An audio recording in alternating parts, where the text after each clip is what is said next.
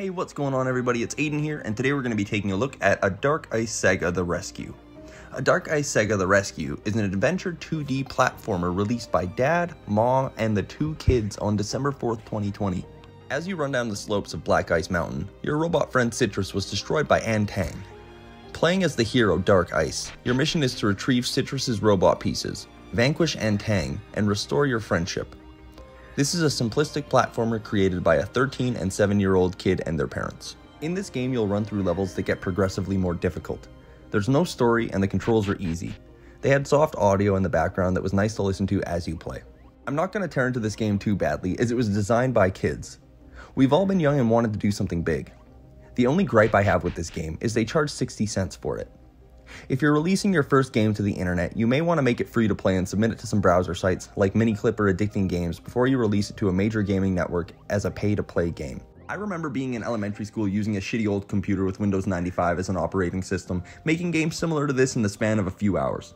I would have never thought that any of the old games I ever made when I was a child were worth any money. That being said, it's good work for the first game, and it's not easy learning how to program. Now it's time to review this game, and here's where I can't go easy anymore. I need to rank this game to the same standard I would rank any other game. I can rank this game in two areas, visuals and audio. For visuals, I'd give this game a 1. This game is as simple as they get. You're a square, and you must walk on a bunch of square platforms, and you need to avoid bad squares, and the background was mostly just solid colors.